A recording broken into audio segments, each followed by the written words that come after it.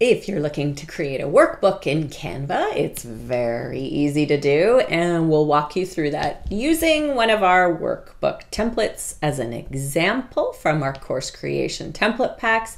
And I'll also show you real quickly how to create one from scratch if you'd like. I'm Alice Seba from eKit Hub, and let's get started. So we'll come back to our template, workbook template here, and we will, I said I'd show you quickly from scratch how to create one.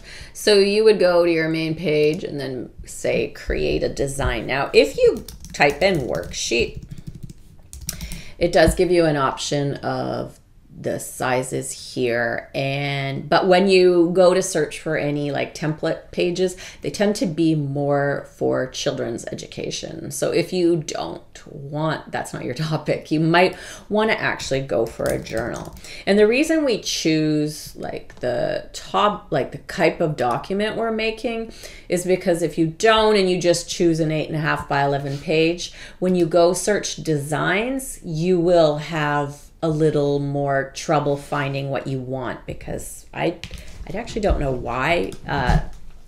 Because uh, if the size is the same, you would think you should be able to search for everything, but Canva seems to kind of limit that.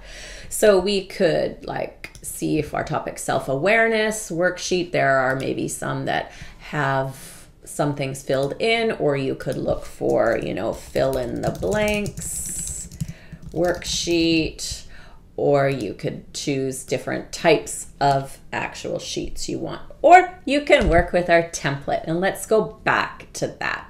And this part of the tutorial will be useful whether you, you know, use our templates or not. It'll give you lots of, you know, information on how to edit and some neat little tricks that you might find helpful.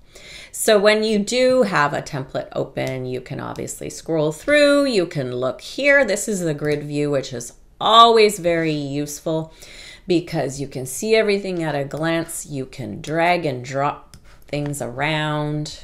You have to wait till the line is there and then it'll move. You can delete things, you know, multiple pages at once. It's really easy to work with. So as you see, this is a 19 page workbook with the uh, main slide there as well. And uh, what we'll do is go back and I'll show you, like you can see the colors have been changed to match the cover and you can change all of that yourself as well if you want to do something a little different.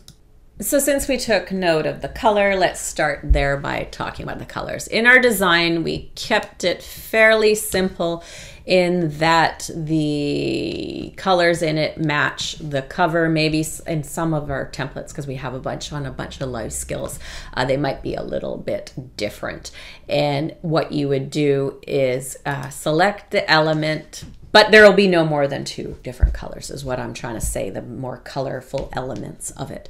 So when you want to change it, this might seem a little, feel a little bit dark, so you might want to go in here. You can completely change the color, or if you go here, you can also work to maybe change it so it's perhaps just a little bit lighter.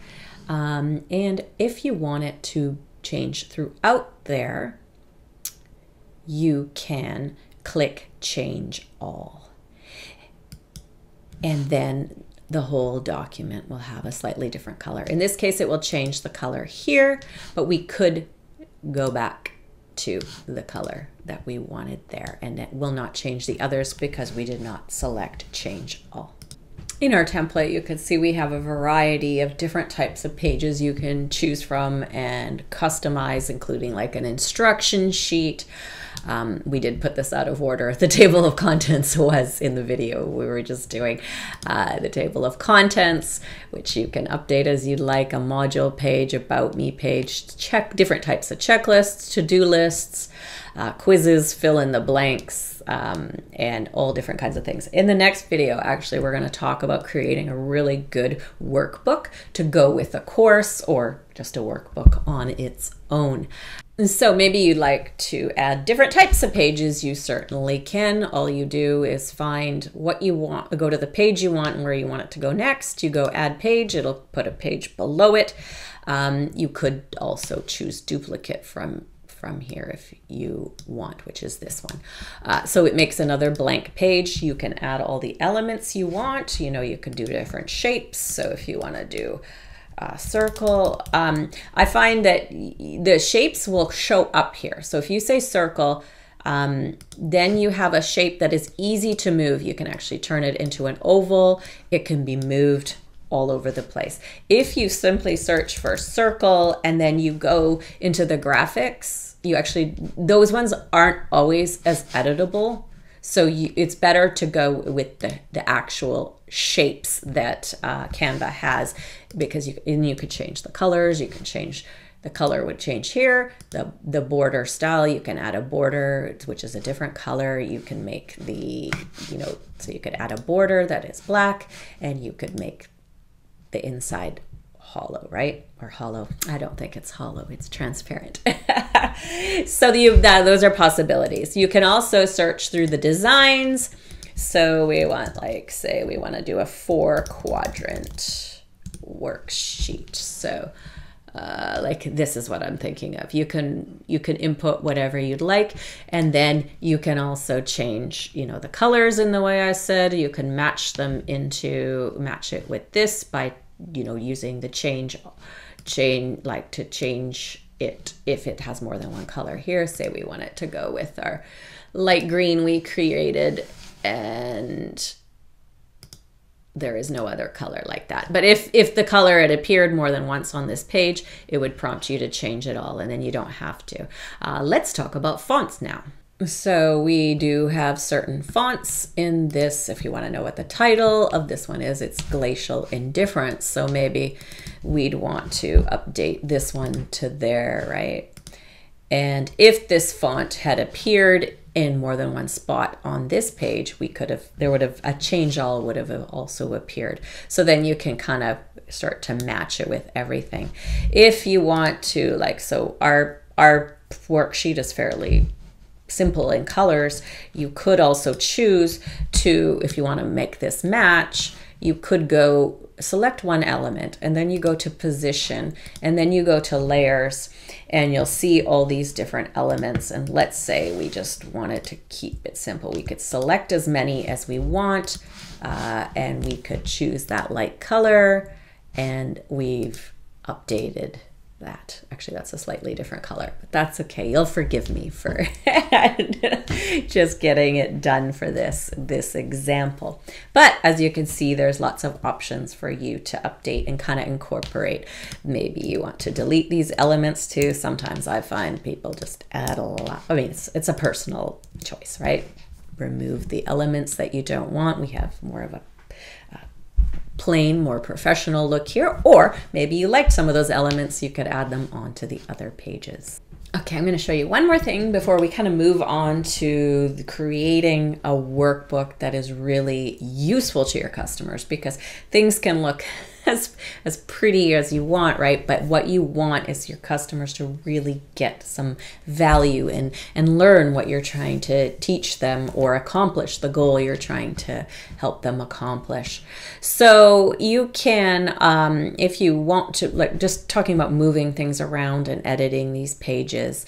So you can always select any item, right? And I showed you how to go into the layers so you could select more than one. Uh, but you can also, if you want to just move things or delete all them, you drag your mouse over top. So I could delete that if I wanted to, or I could move it and move, you know, move all these other elements how I'd like.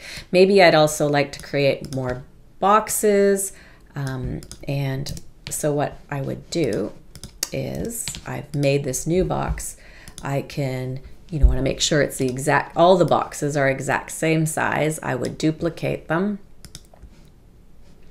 And then now they're not centered, so I can select all that. I can move that.